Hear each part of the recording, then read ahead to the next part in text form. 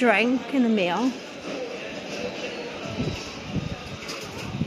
Um, burger, nine pounds think We're having a look a minute.